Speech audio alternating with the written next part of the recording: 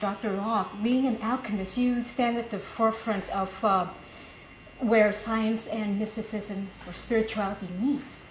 Uh, can you tell us how current, you know, modern minds now, do you think that there's a good chance that uh, people are being more aware of, of, of alchemy and maybe accepting it?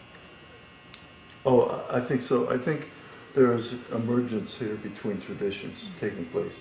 Not necessarily alchemy, but all the Hermetic traditions, uh, religion and science.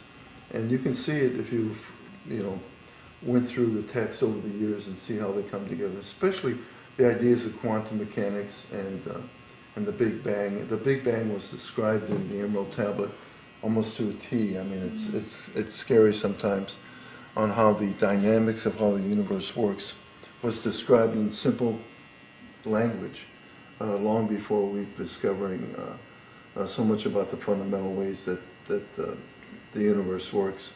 And quantum mechanics has introduced consciousness into the equation.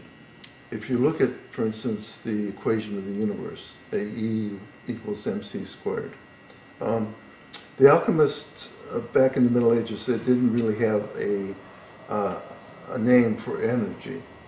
Uh, they, they used terms like spirits, you know, a, spirit would move things uh, or the, or the spirit of something would cause a change. But that was energy they were talking about. And sometimes they coded it in words like sulfur, which is brimstone with the burning stone that catches fire and, and burns and is so active. So they knew about energy, they worked with energy, they knew about matter, which they usually called salt, and how uh, different kinds of matter came about through operations of transformation. And they knew about light, uh, which is the C in that equation, and, the, and how that fundamental idea comes into the equation. The alchemists believed, and the Emerald Tablet kind of implies it, that consciousness is a force of nature. Uh, and that quantum mechanics now, after we've gotten beyond traditional uh, Newtonian physics, has introduced consciousness as a force of nature too, uh, in different experiments. So if that little c uh, stood for consciousness, there'd be no difference between alchemy and modern physics. Uh, how the, the, dynamics of what's going on there. So there is a mer- merging together, coming together. There's different terms being used, but really, um, and I talk with quantum physicists all the time.